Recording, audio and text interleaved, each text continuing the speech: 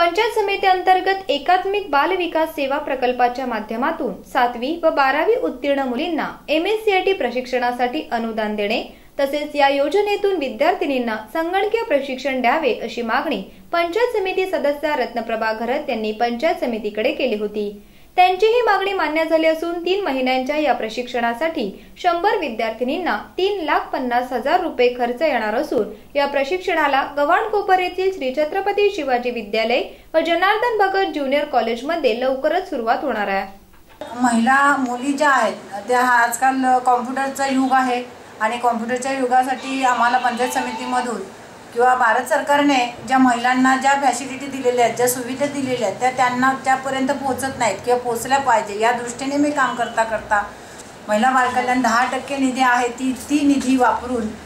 महिलांना मुलींना ज्या विद्यार्थिनी आहेत त्यांना पाचवी ते सातवी ते बारावीच्या विद्यार्थिनी आणि बारावी ते पुढे पुढे शिक्षण घेणाऱ्या ज्या विद्यार्थी आहेत मग त्या कोपर हायस्कूलला श्री छत्रपती शिवाजी विद्यालय आहे. त्या कोपर हायस्कूलमध्ये छत्रपती शिवाजी विद्यालय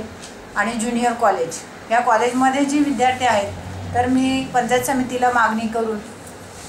दहा टक्के महिला बालकल्याण निधी वापरून जवळजवळ शंभर विद्यार्थिनींना ह्या योजनेचा M S C I T course जो आहे त्या कोर्सचा देण्याचा निर्धार केलेला आहे. आणि त्यासाठी सुद्धा मला प्रशासकीय मान्यता दिलेली आहे.